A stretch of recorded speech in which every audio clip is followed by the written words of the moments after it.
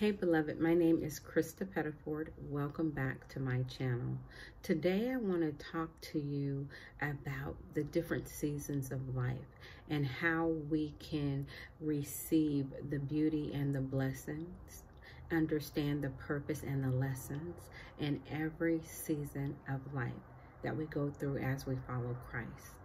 And so I want to share with you five clarifying questions that you can ask yourself in every season of life that will help you get grounded and know what God wants you to do in your season, no matter what season you're in. But before I begin, I want to ask you to like this video, to subscribe to my channel if you haven't subscribed, and to share this video with someone else.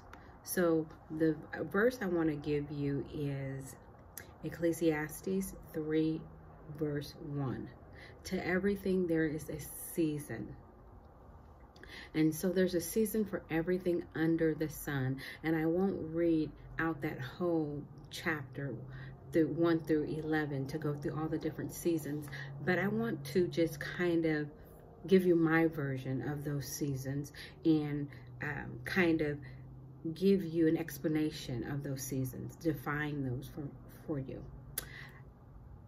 First, I want to let you know that not every season is the same. There are seasons of fruitfulness and harvest, seasons of joy and happiness that make your heart so full and put a smile on your face. And but then there are those seasons of dryness and seasons of waiting and seasons of transition, which I'm currently just coming out of. When God calls you to leave something old to do something new, and you have to trust Him to direct you where in the thing that he wants you to do and where he wants you to go and how he wants you to do it. And then there's seasons of warfare and testing that end in victory, but can also end in making you feel defeated.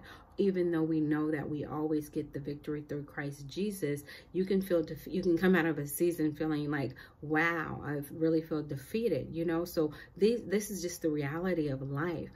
There are seasons of sorrow. There's seasons of sorrow and seasons when God calls you to do hard things. He calls you to testing and trials when like um when it's something hard that you don't want to do. So it's even not just the test and the trial that you're passing, but it's something that's just hard for you, that's just sorrowful, that you have to keep on pressing through. But there's also seasons of rest and peace. But one thing I found, because I've been through so many seasons in my uh, almost 48 years, because I started so early, is that every season has a beginning and an ending. And sometimes it feels like the end is not in sight. And sometimes in a season of transition, you can feel like um, there's no new beginning in sight. Like you've been just waiting on God to show you what to do next, but even though you know a season is ending. But I promise you that every season, as sure as it begins, it will end. It has its own beauty, as I said at the beginning, its own blessings, its own purpose, and its own lessons that God designs just for each one of us as we go through. And so I want to talk about how to discover what God has purpose for you in the season that you're in, the present season that you're in. And these five questions will help you in any season of life. And so the first one is to lean in.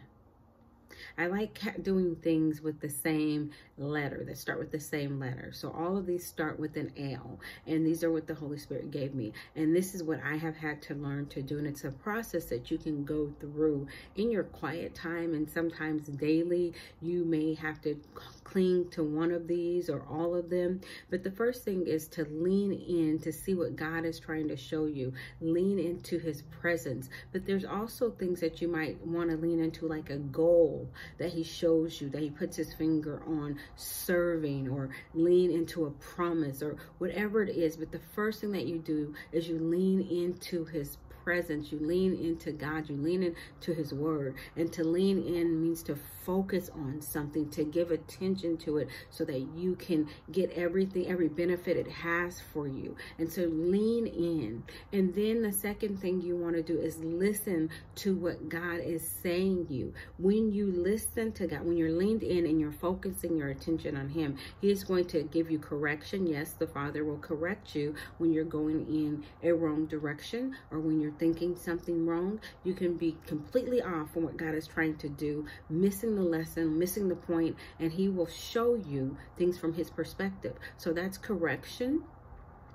Um, he will also chastise you, which is part of correction. He will instruct you and he will direct you in the thing that you are supposed to do. But also, you want to listen for those voices that you shouldn't be listening to because not every voice is going to line up with God's will for you, with what he's spoken to you. And so you want to make sure that you're listening to wise counsel, that you're not listening to your voice and the voice of complaint, your the voice of your flesh and the voice of complaining. You want to make sure that you're not listening to other people, that you're not taking worldly counsel or listening to those people that are telling you what you want to hear, but you're listening to what God would say to you. And then secondly, when you lean in and you listen to him, he's going to tell you to lay some things down. He's going to ask you to let some things go. There's some things that can't um, that you can't sustain in this season. There's some things that you have to cast upon Him. There's some things that you are no longer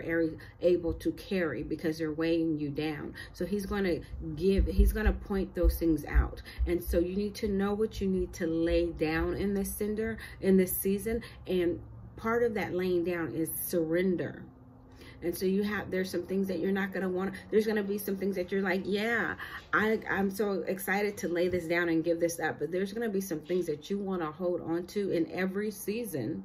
These things, again, work in every season. These are questions that you can ask yourself, lay down. So God, what do you want me to lean into? Lord, who am I listening to that is not lining up with your voice? And what am I listening to to hear from you. What do you want me to lay down? But then there comes a thing, what do you want me to lift up? And when I think of lifting things up, I think of lifting them up in prayer. I think of lifting something up to the Father in prayer and asking Him what He has for me, what He wants for me to keep before Him, that promise that fu- that hope and that future that he has for you that child that husband that mother that friend that ministry that job that that dream that you have before him that he wants you to keep it lifted in prayer. And sometimes you're laying something down and you're lifting it up all at the same time. You're laying down the part of it that you can't control and you're lifting up the promise that God said he would make it to him bringing your faith in alignment with God's will, with heaven's will, regardless of what it looks like. And you're saying, God, I know that you are able. So I surrender my my will, my strength, and my might to you, and I surrender this to you. I can't control it. I can't change it in my own power and might. But as I lay down my efforts, as I lay down what I want to do and lift up to you this thing that you can bless it, just like Jesus blessed the loaves and the fishes and they were multiplied. He lifted it up to the Father. That's what you're going to do. Just like Moses lifted up the rod and, Mo and Aaron, um, and I believe it was Joshua held up his arms, or was it Hur held up his arms? And while he was in battle, and as long as the rod was held up, they were winning. You're going to hold that thing up until you get the victory. And then you want to seek the lessons and everything that you go through. What are the lessons? And so you're asking God, what do I, what am I, what do I need to learn? And what didn't I get last time? Or what did I get? What, what didn't I get in the last season that you may be bringing it back around in this season? But what are the lessons from the last season that I went through that I can apply in this season? So that I don't forget that I use the wisdom and the knowledge and the understanding that you've already given to me. And then what is it that you want me to get in this season? And and a lesson from God does not mean that you are failed or that you are bad or or anything like that. It doesn't mean that you lack faith. It means there's always something in each season that you can learn from the season that you're in. Even if it's a good, beautiful, fruitful season, what can you learn about that that you can then apply to your life and teach others? And so once you answer those questions, you will be able to understand the, you will be able to know and experience and understand the beauty in the season you're in, even if it's a hard season, the blessings, even if it's a hard season or it's a season of transition or it's a season of rest or just dryness, you'll you'll understand looking back or even going through it. If you lean into God you'll understand why. Sometimes he dries you out so he can fill you up. He prunes the vine. And so you'll understand the beauty and the blessing you'll understand the purpose of what you're going through. Whether it is the best time of your life, you'll understand what God's purpose in and giving you that time of blessing and rest and peace and all those things where you're not warring, but you're you're enjoying the blessing. Um, or if you're in a hard place, you'll understand the purpose and you'll understand the lesson. And so that's what God wants us to get out of every season that we go through the beauty and the blessings the purpose and the lessons. And so I just wanted to come by and share that with you. And um, I actually have a free downloadable guide that walks you through all of this and helps you go through these questions and really digs into this. I just kind of tap the surface. It's not too much because it's just a 10 page guide, but it goes deep into the questions that I covered here and gives you a time to process and get into each one of these questions and these words surrounding the questions. And so I hope that this blesses you, whatever season of life you're in. I'm kind of in midlife. You can be a season in age, right? So I'm in midlife. I'm an empty nester. I'm going, I just in, finished a season of transition. Some days I feel like I'm still in transition, but I'm definitely um, I have ended a season and I am entered into a new beginning.